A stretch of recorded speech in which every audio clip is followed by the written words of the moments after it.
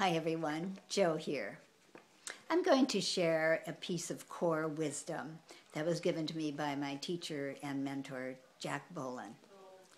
And this was uh, his way of, a very powerful way of handling life. And he used his five fingers to remind him. But if you use this and practice it, it will absolutely provide a powerful way of guiding you through life and making good decisions. So this is called the five simple steps for living a powerful life. And the first one is thumbs up. And this is when you get out of bed, thumbs up to, because no one can choose the attitude that you're going to have but you. No one can choose how you're going to make your way in your day but you.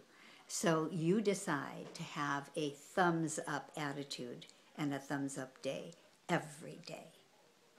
The second one is point your way down the road. And so again, you have the ability to choose how your day is going to be and what is going to happen, what thoughts you're going to think and what ways you're going to move in the direction of your dreams or in the direction of, of whatever you're working on that day. And so when you make a decision to, to act or to, to think about something and you start moving in that direction, is fear and doubt going to come up? Of course it is.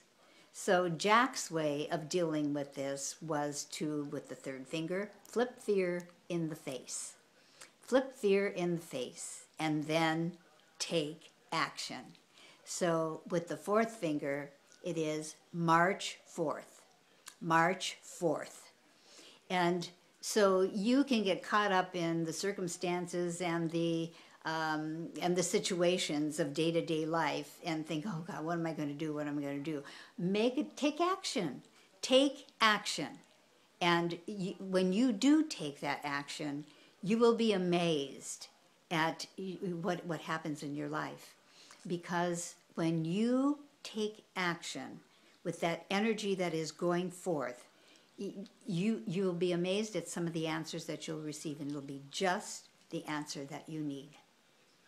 And then the last finger, our little finger. And this is to remind us of all the little things in life.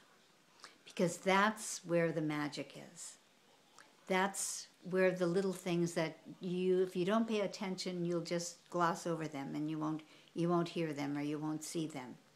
And it, it could be just how the sun feels on your face, or the gentle breeze that wafts through when you walk or when you're going somewhere, or the smile of a child, or thinking of a friend and how dear they are to you, or maybe just an inspiration in a quiet moment, or a very special song, or maybe even just the song of the bird in your backyard all of these little, little things, that's where the magic is.